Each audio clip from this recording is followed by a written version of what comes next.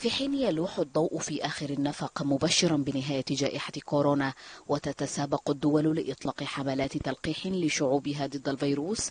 يبدو طريق القضاء عليه ما زال طويلا مع حصده كثيرا من الأنفس.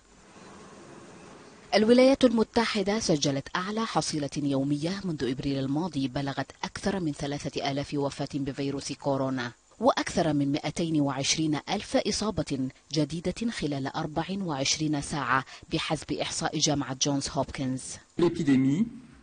أما أوروبيا فسجلت هيئة الصحة العامة في فرنسا أكثر من 14 ألف إصابة جديدة وما يقارب 300 وفاة خلال الساعات الأخيرة. في ألمانيا طالبت المستشارة أنجيلا ميركل بتجديد القيود لحفظ الإصابات بكورونا بعد أن وصل عدد الوفيات اليومية مستوى قياسيا. فقد أظهرت بيانات معهد روبرت كوخ للأمراض المعدية أنها سجلت أكثر من 23 ألف إصابة و440 وفاة في الأربع والعشرين ساعة الأخيرة. وفي وقت تثير فيه سرعة إجازة اللقاحات كثيرا من الجدل. دعت السلطات البريطانية إلى عدم تطعيم الأشخاص الذين أصيبوا بحالات حساسية شديدة في الماضي بلقاح فايزر بايونتيك وذلك بعد أن أظهر شخصان ردة فعل سيئة بعد تلقيهما الجرعة الأولى من اللقاح.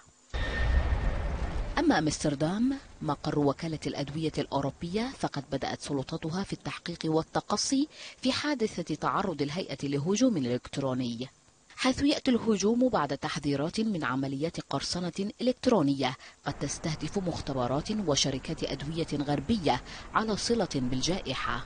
وأصدرت شركة فايزر المصنعة للقاح كورونا بيانا كشفت فيه تعرض وثائق تتعلق باللقاح للقرصنة خلال الهجوم. ومع اقتراب أعياد الميلاد التي تجتمع فيها العائلات تزداد المخاوف وترتفع أصوات التحذيرات بشأن زيادة الإصابات. وتظل أقصى أماني العام الجديد أن يطوي العالم صفحة معاناة جائحة كورونا.